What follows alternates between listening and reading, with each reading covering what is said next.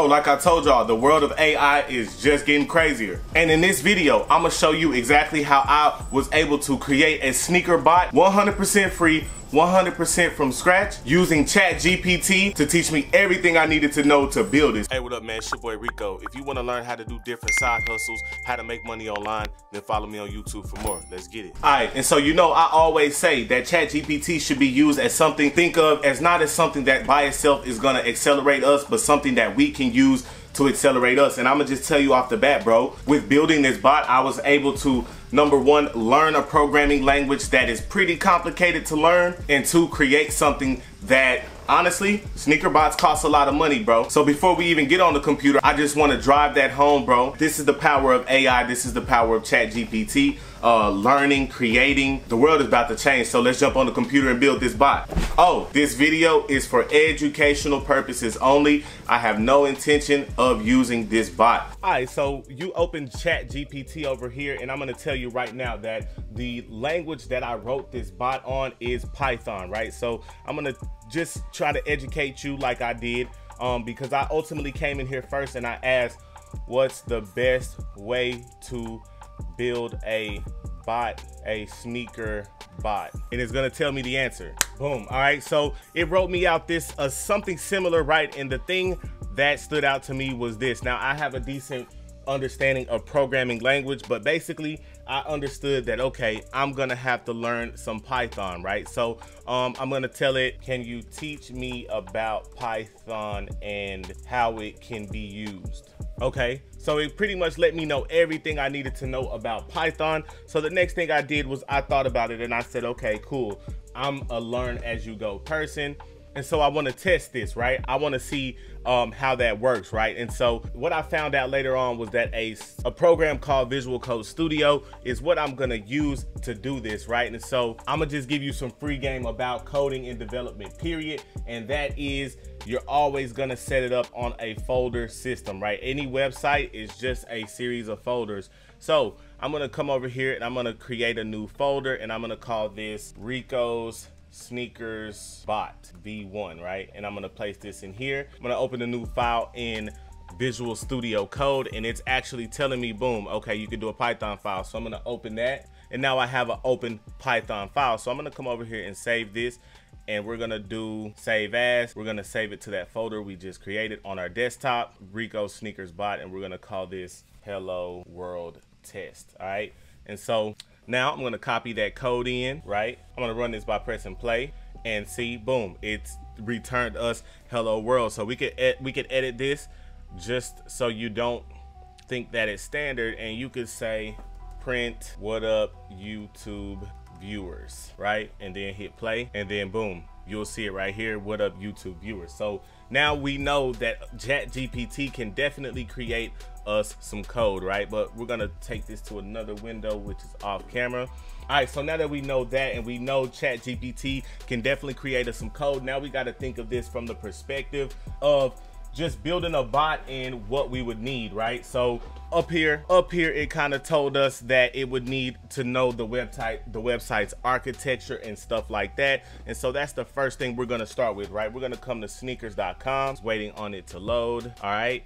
And in order to do this, we got to go with something that's already in stock because we need to be able to see everything on the page, right? And so this is just the power and you we also need to be documenting um, how we're gonna ask chat gpt because we need to be as detailed as possible right? So i'm just gonna take right? So i'll just pick i'll just pick this. This has got a bunch of available sizes and I'm gonna teach y'all a little bit. I'm gonna teach y'all something else. In chat, if you ask Chat GPT, it'll tell you, but I'm gonna tell you right now. If you're on Chrome and you right click and hit inspect, it'll open up that page for you, right? And so pretty much what we needed to do, we, we need to get here and I'll explain more later, but we pretty much need to be here. So anyway, we're gonna simulate what a person would do if if they were doing this manually because that's what a bot does right and so you know what you would do you'd get to this page you'd kind of scroll down a little bit you'd select the size and then you would hit buy right and so so now it's time to start just ask, just start compiling that in chat GPT. So I'm gonna take this link right here and I'm gonna say, I learned this from another, like from a Python coach. So I'm gonna do it like this too. I'm gonna tell it scrape this website, right? And then I'm gonna paste that in, right? And then I'm gonna tell it right to to write that in Python and I'm gonna say, right? And then I'm gonna say with Python and Selenium, which they know what I mean. I, am sure I butchered that word, but they know what I mean with Selenium, with Python and Selenium. Then I'm gonna do another prompt just to kind of tell it what to do, right? Because now we know um, we wanna wait for the page to load. We want to make it scroll down, right? Because you, we've gotta simulate human activity and then we've got, we want it to scroll down to pick a size, right? And then we want it to hit the buy button, right? And so now, remember I put this in inspect mode. So now we need to use that. So the first thing we told it to do was wait for the page to load. It'll write the write us the script for that. Then it'll say make it scroll down to pick a size. I'm actually gonna separate that now because how literal you have to get, make it scroll down, wait three seconds, then pick a size, then select the buy button, all right? And so boom, to pick a size, now we have to tell it what to do to pick a size, right? And this is where having a little code knowledge is going to help, right? So I'm gonna come over here to inspect and I'm gonna select the element on the page. So the first thing we wanna do is select a size, right? And let's say that size is 11, right? 11 and a half.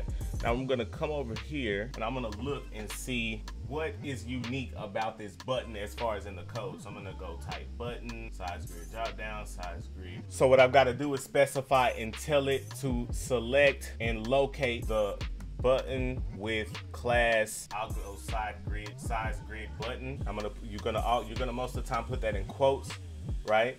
And then I can even specify and say with the string 11 and a half inside of it to select the size. Then I want it to locate now we got to go find this same stuff on the buy button. Is that the only div called that. Is there any other? There's got to, that's got to be the only. So I'm gonna select that class, which is that long class right there. And I'm gonna say, then I wanted to locate the class, the button with class to select the buy button right and you can and let me let me say you can do this exact same thing to go further in the process but this is just me showing you how chat gpt can do all of this for you right but uh, i don't want to be unethical or anything like that by going through billing and um, credit card details and all that type of stuff.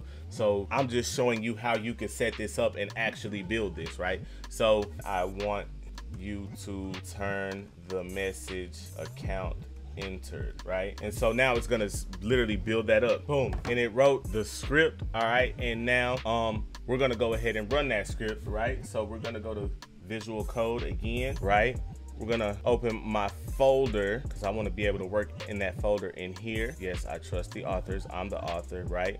And then I'm gonna actually make a new file and call this bot v1.py right? And I'm gonna copy all, I'm gonna paste that code in, right? And then we gonna run it, right? And wait, I gotta save it first and then run it. All right, I'm, I'm gonna terminate this. So two things, right? And this is this is all a part of our learning, right? This is all a part of our learning process. So we're gonna come back to Chat GPT and say, and honestly, I know this, but what you would do is tell Chat GPT literally, hey, can you change this to make my default browser fire or chrome right? And i'm gonna see if i could just change it to chrome and see if i can do it that way or if it's gonna do it how it wants right? So it's running my script. All right that's a chrome browser and now it's running right? Boom. And now it says can't follow this by XPath. So what you literally do is come in here and you take your error and you come back to chat GPT and you paste your error in and it'll tell you what's wrong and then it'll fix it for me all right and now so I'm gonna grab this code update it in visual code and I'm gonna save it and then run it and actually I did not go so I'm gonna change it back to Chrome here, right? And then I'm gonna run it. And it still gave me an error. And let's see, let's once again go paste that back in and tell, ask GPT what's wrong. And so you see, this is, bro, this is high level, like, this is high level debugging. This is, people get paid a lot of money to do what chat gpt is doing for us right now oh you know what so i think i might i may as well can you update the code in it in Chrome instead of Firefox. Cause I, I should have specified that in the um in the beginning. And then sometimes, bro, it'll just break. So I'll do can you finish the code? Sometimes it'll just stop. All right, and so we had ChatGPT adjust this code, so we're gonna try to run it now. And it's running. So far, so good.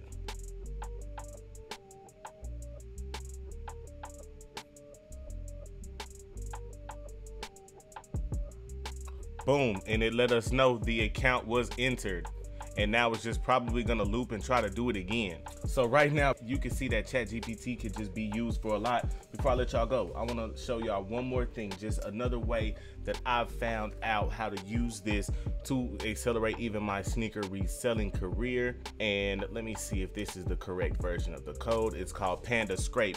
And what I did was I made it go to eBay, right? Filter by sold, and then let me know all the sold listings of the pandas and then the average price for the last listings, right? So, bro, let me know in the comments if y'all want to learn how to build this bot, man. It's your boy Rico. I'm out. Let's get it.